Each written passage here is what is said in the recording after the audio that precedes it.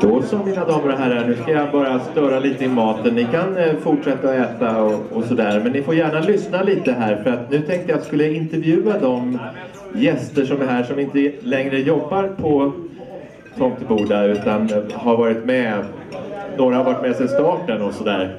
Så jag tänkte börja med att eh, intervjua, det här är väldigt intressant för mig också för jag vet ju väldigt lite. Så det, just, det ska bli väldigt spännande att se. Eh, jag tänkte börja med att höra var Bosse Hellberg sitter någonstans. Här borta. Bosse, ska jag komma bort till dig då kanske? Eller har du möjlighet att komma upp till scenen?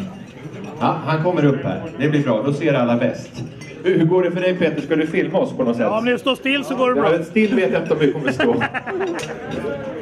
Peter, eh, Bosse, då får du vara här då helt enkelt så, får, så det syns. En applåd tycker jag för Bosse Hellberg. Välkommen!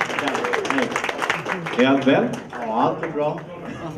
Bra. Eh, du får berätta lite om dig själv. Eh, det står här att du var produktionschef. Eh, eh, var du med ända från början på Tomteboda? Ja, det kan man säga.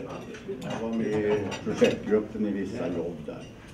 Och sen flyttade jag till Tomteboda. Mars, mars 83 började jag jobba på Tomteboda. Då inledde jag första gänget. Hur var det då, precis i början? Eh, Hur kände man sig när man jobbade där, när allt var nytt?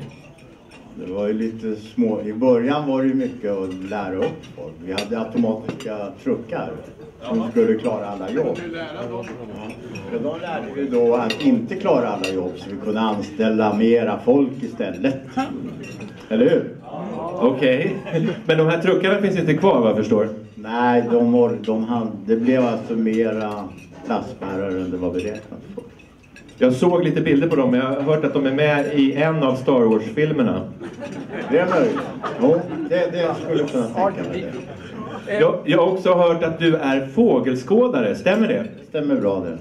Har du sett någon fågel? Ja, jag har sett tre tror jag.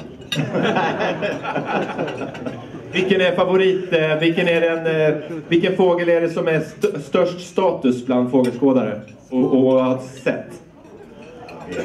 Det är jättesvårt. Ditt raraste fynd. Det är inte talgoxe. Nej, det är inte talgoxe. Man kan ju säga att det ska vara en snygg fågel. Då kan man ju ta sidensvans. Biätare. Sommargylling snygga. kan- Färgglada, snygga fåglar. Jag hörde också att du en gång hade sett en dront, stämmer det? Vad är en dront för något? En dront är en utdöd fågelart. Det är starkt att ha sett en utdöd fågelart. Den ser man bara när man kommer hem från baren. Ja. En applåd tycker jag för Bosse Hellberg. Tack så mycket, det var trevligt att ha dig här. Välkommen, hoppas du får en trevlig kväll. Eh, Jag tänker beta av, jag har fått en liten lista här